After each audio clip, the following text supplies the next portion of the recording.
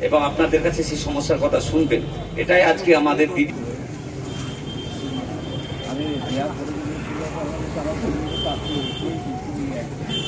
সভাপতি জনাব আইজুদ্দিন মন্ডল মহাশয়।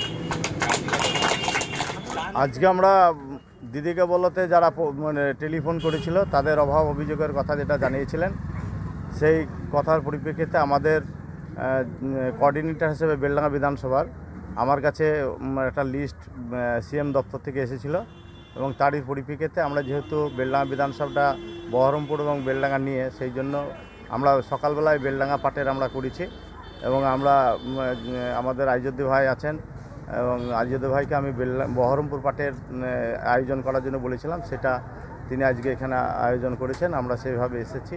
আমি হরিদাসমাটি অঞ্চল চুমকি মণ্ডল বলছি।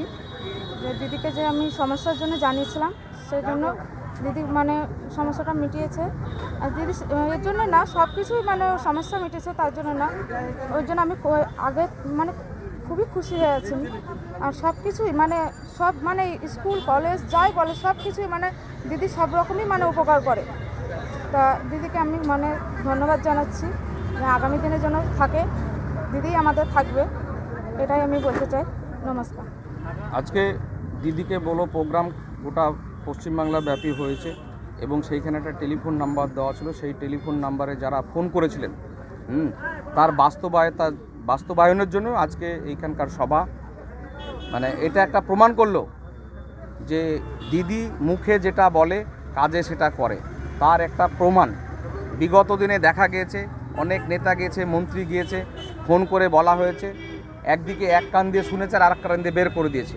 কিন্তু আমাদের দিদি যেটা বলে আর সেটাই করে তার একটা প্রমাণ। বিভিন্ন এলাকা থেকে বিভিন্ন মানুষ বিভিন্ন রকম সমস্যার কথা তুলে ধরেছেন।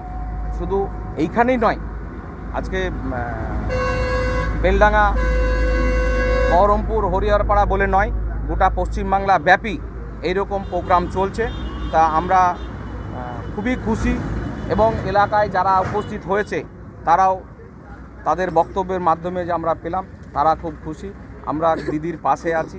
দিদি এগিয়ে চলুক এবং যাতে আগামী দিনে আরও ব্যাপকভাবে কাজ করতে পারে তার আমরা আশা রাখছি।